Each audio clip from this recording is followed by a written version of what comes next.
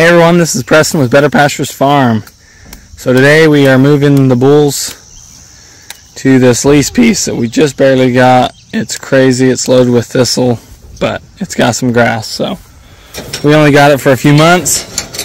So we're gonna do what we can with it and see what happens. Rotate these bulls through it. We got them crowded up in there pretty good. Hey boys, you ready to get after it? Yeah. All right, we're gonna open the door up. Oh, we're gonna fight. Those two are gonna fight. This is awesome. I gotta figure out who's alpha male here. Figure out who's the boss. Hey, hey, hey, hey, hey, hey, hey.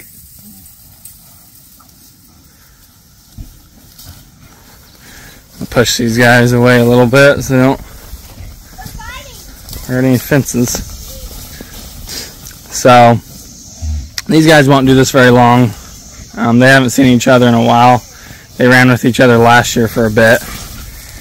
Um, so they're just going to figure out who's boss. Once they establish that, they'll come right down and do their thing. But anyways, we got this piece for a few months. The story on this is it's been overgrazed heavily. And I think you can tell by the thistle, obviously. Been super overgrazed, hard impact on it. So we're going to bring our bulls in and let them see what they can do. Like we're just loaded with thistle.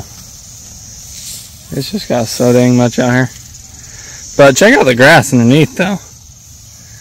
Like it's just beautiful. We got some Johnson grass there. They'll go after.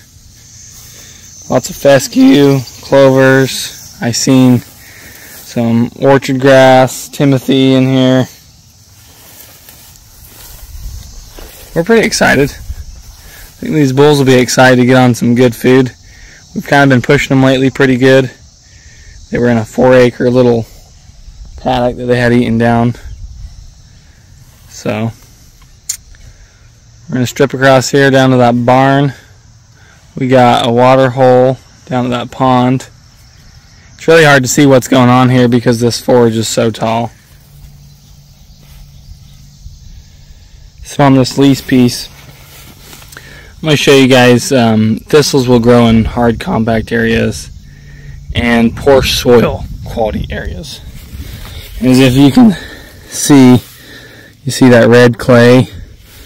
Uh, there's not a lot of soil quality here. There's not a lot of, don't have any kind of a litter bank because it's been conventionally grazed, grazed down to the dirt, guys. So we're going to try to restore, get a litter bank going. You know, we only got this piece for a few months.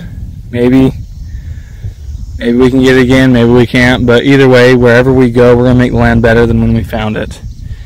And there's tons of thistles on here. And if you look down, these thistles are growing in the rough areas that are just very compact, hard, hard soily clay soils.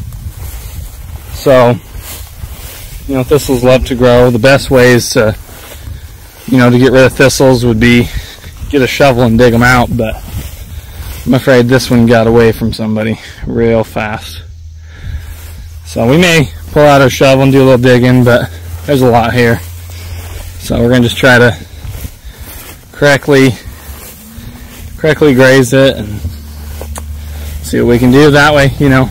You got to do what you can do in the context and the lifestyle that you want to live. Don't overwhelm yourself you know everything's a work in progress. Make steps each and every day to be one step closer. You don't got to tackle the whole thing all at once. So up here you can see same thing here. We start seeing a lot of rock red clay soil, and we got tons of thistle. Thistle loves hard soil. See, we got no grass growing there. There's no litter bank. I think it'd be pretty difficult to find an earthworm here because there's nothing for them to eat, which this is the first year that's been able to grow up like this. You know, if it could grow up like this and then fall over and you get a litter bank going, totally change it. But since there's no litter bank, the soil the soil is what it is still you know it takes years to rebuild soil so one step process and you just keep doing what you can do. So darn excited. There's tons of forage here. We're gonna really tromp this forage down. These boys are gonna go at it again to figure out who's boss.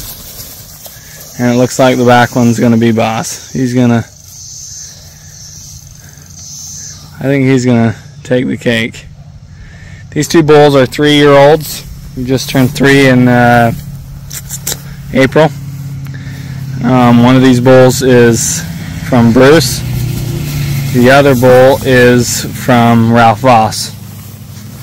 And they're growing pretty good. I think this third year we're really going to see what they can do and how they fill out. And so yeah, thank you guys so much for watching. If you guys have any questions, leave them in the comments below. We got our helpers here closing the doors. Trying to teach them how to work along the process. You know this is for us this is a lifestyle something we want to create in our family. It's pretty cool to be out on the land moving animals watching grass grow you know just being a part of nature.